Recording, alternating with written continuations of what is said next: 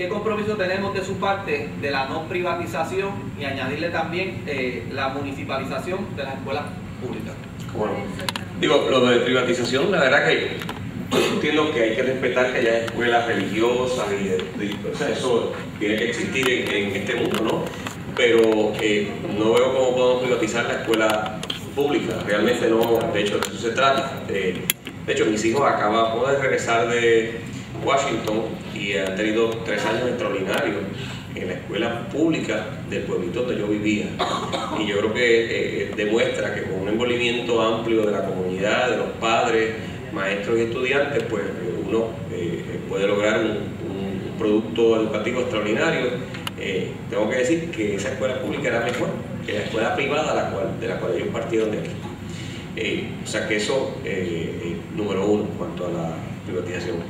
En cuanto a la municipalización, yo creo en la regionalización de algunos servicios, por ejemplo, de recogido de basura, de mantenimiento de carreteras, de inclusive proyectos que se pueden hacer, que las comunidades pueden envolverse hasta en el área energética, pero de las comunidades, estoy hablando de realmente apoderamiento comunitario.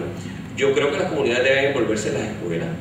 Yo no veo problema en que las escuelas, inclusive la comunidad decida, nosotros queremos eh, envolvernos y desarrollar, qué sé yo, este, eh, un campo de, jugar soccer o béisbol y la comunidad lo va a hacer y todo, y yo no veo por qué no puede haber eso, yo no veo por qué el alcalde no puede, eh, o la alcaldesa ayudar a esa comunidad a hacer ese tipo de esfuerzos para, como parte de la comunidad educativa, a apoyar el esfuerzo que se está llevando a cabo.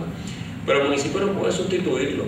Eh, yo sé que puede haber escuelas especializadas, yo no conozco suficiente sobre el experimento en San Juan, que hay una escuela eh, que leí en el periódico que han estado desarrollando. Puede haber, yo no creo que podemos prohibirle a un alcalde que tenga una escuela especializada en deporte o en música, si así lo desea.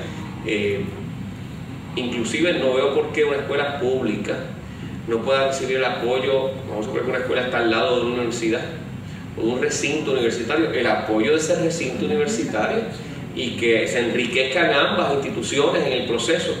Eh, pero eso no significa que sea privatizado o algo por el estilo, significa que es parte de una comunidad educativa. Eh, lo veo de esa forma.